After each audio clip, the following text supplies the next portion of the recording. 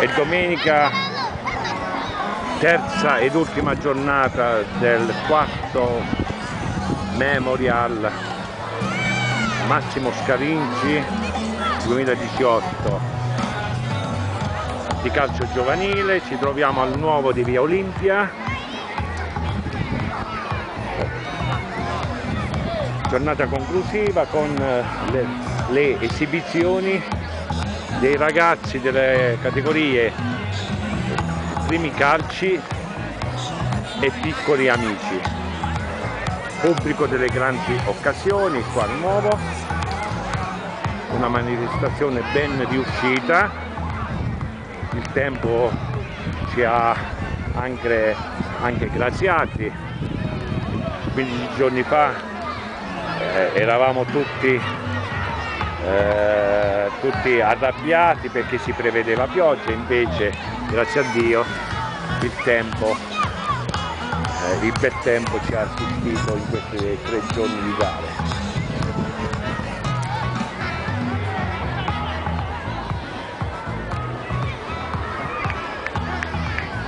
Questa metà di campo è tutta dedicata alle esibizioni dei ragazzi, siamo quasi alla fine delle esibizioni, dopo ci sarà il cerimoniale di premiazione e per concludere ci sarà anche fuochi pirotecnici.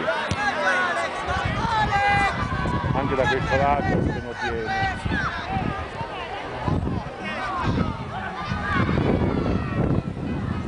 Sono molte società 1920 Virtus Lanciano, 1920 Lanciano Calcio, Miglianico, Fossa Cesia, Quattro Colli, ovviamente la Virtus Castelfrentano che si riconosce con la crascarisa giallo-rossa,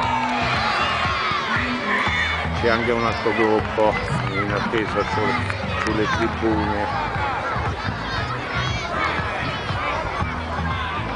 questo lato del 1920 qua la Virtus Lanciano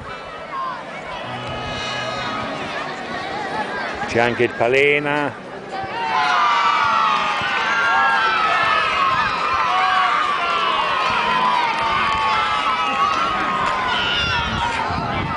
Ecco mi pare che ha segnato la Virtus sta da in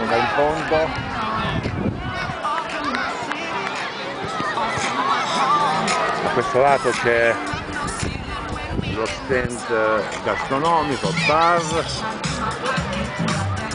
c'è il servizio medico, di ambulanza e di sanitari, c'è la dottoressa Carosella e il dottor Iallori presenti proprio. Fino adesso c'è stato solo piccoli interventi medici, tipo qualche contusione, abrasione, qualche livido, ma niente di grave. Ieri eh, un bambino un pito eh, steccato, ma niente di grave. Sono gli incidenti che possono accadere in qualsiasi momento, in qualsiasi posto. Le tribune sono piene dei genitori, nonni e familiari dei ragazzi che si stanno esibendo. È stato un torneo suddiviso in tre giornate da venerdì, dedicato alle categorie più grandi allievi e giovanissimi, dove c'è stato ieri sabato dedicato ai sordienti, pulcini e oggi dedicato, stamattina ci sono state le finali degli allievi e dei giovanissimi. Questo pomeriggio dedicato tutti ai baby dalle ore 15 si è cominciato a giocare.